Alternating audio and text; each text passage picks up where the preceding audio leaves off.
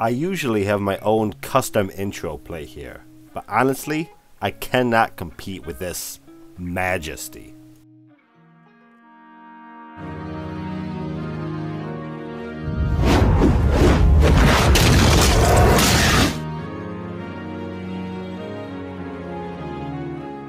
I know, I know, I know. Your life is now complete.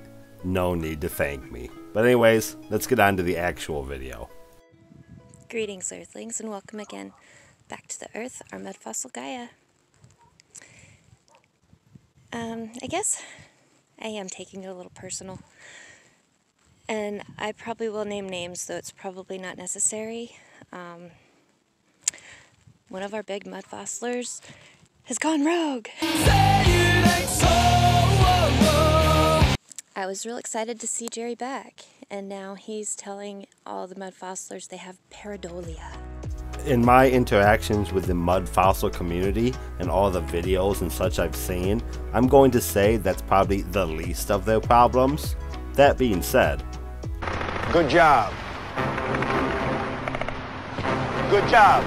I would like to explain to all these sweet mud fossilers exactly what pareidolia is. So my audience knows, I have provided a link to Pareidolia in the comments down below so you can research a bit more on what it actually is before she enlightens us. And now for something completely different. and what pareidolia is versus shamanism, and what it really means to see these beings. What in the goddamn? Yep, we're going there. This chick is 100% serious, by the way. As far as I can tell. Pareidolia is nothing more than the ability to see the unseen. This is your brain. This is drugs.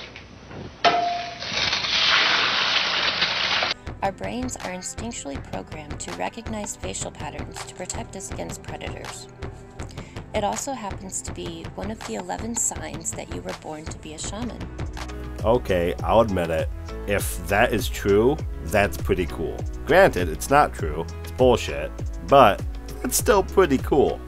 If you feel a strong connection to nature and you often see things that others can't see, you may have been called to be a shaman. Let's be honest here. Who doesn't like going out for a walk in the park? Who doesn't like to cloud gaze and see things in the clouds? Does that mean everyone that likes to cloud gaze outside is a shaman? which is actually quite common in this new age era we are all awakening to. Star seeds are being born with many gifts, the ability to see the unseen being one of them. Star seeds are quite a common concept in the mystical conspiracy realm. It's quite impressive how often star seeds seem to be born, yet nothing ever happens because of it. Shamans receive gnosis through nature. If they never look at what they see in the smoke, they would only see the smoke, or the flame, or the cloud, or the rock. Spirit works through the elements, and it's seeing the shapes, faces, and signs that it speaks to us. Alright, I'm confused again. Is this piece of wood a creature, or is this piece of wood just a piece of wood that looks like a creature, but since it looks like a creature, you think it's a creature? I'm completely lost.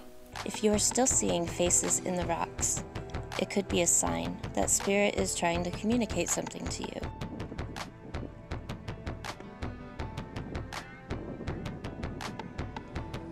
So let's test this theory. Stare at this piece of wood with me for the rest of the video, and tell me when Spirit is talking to you. Let me know in the comments when you become a shaman. Give me the actual timestamp of the video of the shaman transition, please. Thank you, and have a nice day.